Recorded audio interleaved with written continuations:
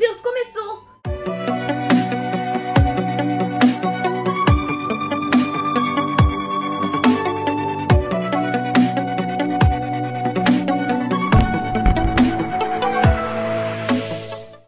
Pessoal, e sejam bem-vindos a mais um Notícias da Petúnia. Tudo bem que essas não são bem notícias da Petúnia, mas eu sou a sua nova repórter aqui do canal do Bolseiro. No nosso último episódio, eu infelizmente não pude participar, então eu joguei uma substituta.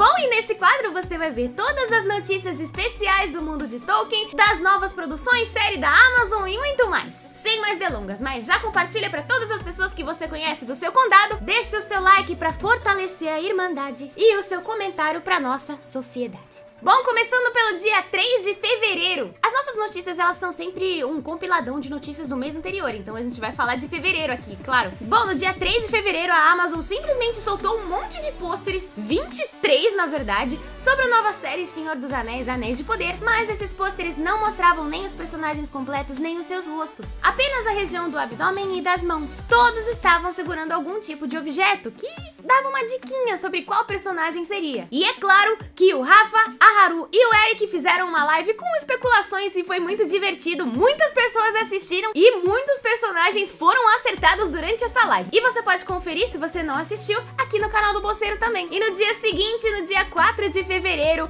a Fine Jewelry revelou que é a responsável pela produção dos anéis na série Anéis de Poder. E você também pode comprar igual, tem disponível no site. Você pode olhar todos os anéis que são produzidos pela Fine Jewelry. Só que tem uma coisinha. Você pode comprar qualquer anel do site pela bagatela de 12 mil reais.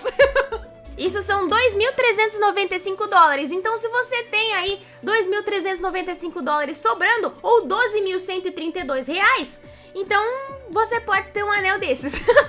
Não é o meu caso, eu preciso sair em outra aventura. E da próxima eu levo um baú maior.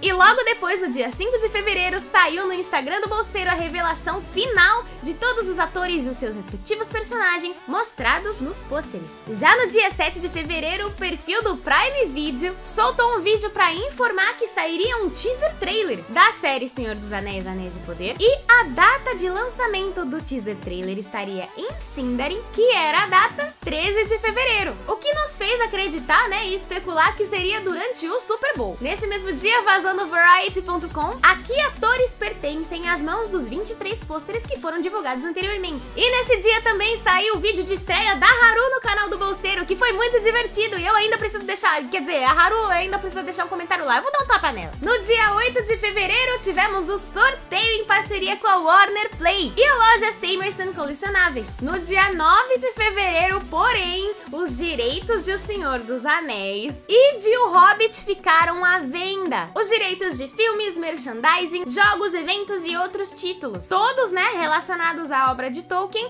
e estipula-se que a venda seja de aproximadamente 2 bilhões de dólares. E é claro, a Amazon tá na lista, né, tá no topo de principais candidatos a essa compra. Em relação a isso, eu acho que a gente só pode sentar e rezar. Bom, e no dia 10 de fevereiro, a série O Senhor dos Anéis, Anéis de Poder, foi capa da revista Vanity Fair, que é uma reportagem muito, muito interessante, revelando 12 fotos inéditas e surpreendentes também sobre a história, sobre o set, sobre como tá sendo feita e como nós vamos conseguir apreciar essa obra quando ela sair no dia 2 de setembro. E é claro, o Bolseiro também fez uma análise completíssima dessa matéria e das imagens. No dia 12 de fevereiro não foi um dia muito legal porque mais de 30 influenciadores e estudiosos de Tolkien tiveram que se unir para fazer uma nota de repúdio à comunidade, infelizmente. Ou seja, há posicionamentos que são extremamente preconceituosos e que não dizem respeito às nossas opiniões de jeito nenhum, sobretudo em relação à cor da pele dos atores escalados, né,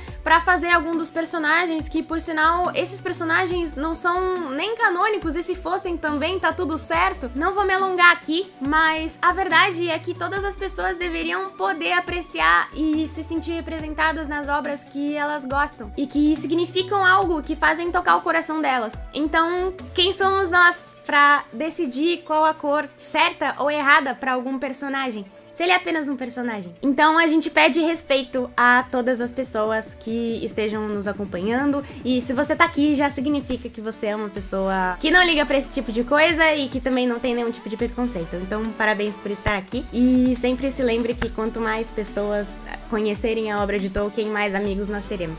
No dia 13 de fevereiro, teve o lançamento finalmente e numa live muito esperada também, Haru, Eric Bolseiro fizeram uma análise muito bacana sobre o teaser trailer que realmente, no fim das contas, saiu do Super Bowl. Essa live, gente, foi surreal. Teve react do trailer ao vivo e em seguida uma análise frame a frame desse teaser trailer que tem apenas um minuto, mas que já revela muita coisa legal se você curte Tolkien. E essa live bateu o recorde do canal com mais de 1.300 pessoas assistindo ao vivo e foi demais. A galera do Bolseiro que fez uma live aí vendo o trailer, muito obrigado, vocês me lembraram de hoje, para que eu não me lembrava. um abraço para todo mundo Bolseiro. Eu não conheço a metade de vocês, a metade do que gostaria, e gosto de menos da metade de vocês, a metade do que merecem. Eles lembraram que tem um, a lenda do Homem da Lua. Quem sabe nos próximos trailers a gente repete isso para vocês. A ideia é repetir isso sempre. Já no dia 14 de fevereiro, o teaser trailer da série de Senhor dos Anéis, Anéis de Poder, bateu o recorde de 200 257 milhões de visualizações em 24 horas. Isso é um absurdo. Sendo assim, quebrou o recorde de estreia mais assistida da história de um trailer de entretenimento dentro de uma transmissão do Super Bowl. E o Bolseiro fez uma análise completinha, detalhadinha sobre o teaser trailer e também da segunda matéria feita pela Vanity Fair, que você também pode ver aqui no canal do Bolseiro. No mesmo dia, 14 de fevereiro, também saiu a notícia sobre a animação de Senhor dos Anéis que nós vamos ter Rohan estará muito bem representada.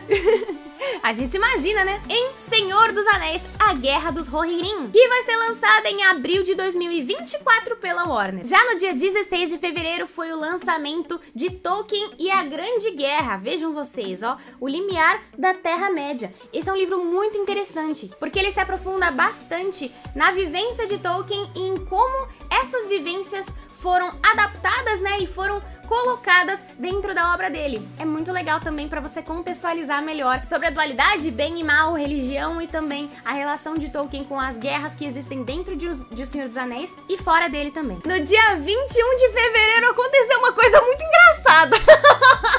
o Rafa do Bolseiro postou uma foto dele, um meme, claramente um meme. Vocês não têm senso de humor. Estilo os pôsteres da série Senhor dos Anéis, Anéis de Poder, aquele com as mãos, o que gerou muitos comentários positivos, porém muitos ataques de pessoas que não entenderam a piada. é, bolseiro, quem é você pra achar que você pode estar no Senhor dos Anéis? Tá? Ninguém, ninguém é digno de estar nessa série mais. não vai ter mais série, ninguém pode participar não. não vão ter mais atores, a gente vai fazer tudo em bonequinhos stop motion, porque ninguém é digno de interpretar nenhum papel. Meme? Não pode. Tô de olho. Meu. Dia 25 de fevereiro foi aniversário do Sean Austin, que faz o papel de Samwise Gamgee. E ele até hoje também é grande fã de Senhor dos Anéis e, claro, é muito querido pela comunidade também. Nesse mesmo dia aconteceu uma coisa histórica e que é muito legal e muito bacana, muito divertida. Eu fiquei muito feliz, dei pulinhos de alegria porque o Hobbit foi aprovado pelo Plano Nacional do Livro Didático como leitura obrigatória para o ensino médio das escolas públicas brasileiras. Ou seja, todos os jovens que estão passando pelo ensino médio agora vão ler também as obras de Tolkien, vão ser iniciados pelo Hobbit nas obras de Tolkien também. E poderão acompanhar o nosso querido primo Bilbo Bolseiro em sua jornada inesperada. Podiam ter feito um livro com a minha jornada também. Hum, por que não? Porque eu não sou canon. O que é muito bacana, porque geralmente quando você tá passando pelo ensino médio, não tem muita essa identificação com os livros que você tem que ler de leitura obrigatória na sua escola. E eu imagino que talvez isso desperte o hábito e o gosto pela leitura em jovens que estão passando pelo ensino médio. Vou te contar que o meu ensino médio foi dos mais tradicionais e eu não gostava de nenhum livro que eu tinha visto. Mas do Hobbit eu gostava. Se eu tivesse lido no ensino médio, eu teria começado a ler muito antes. Dia 27 de fevereiro!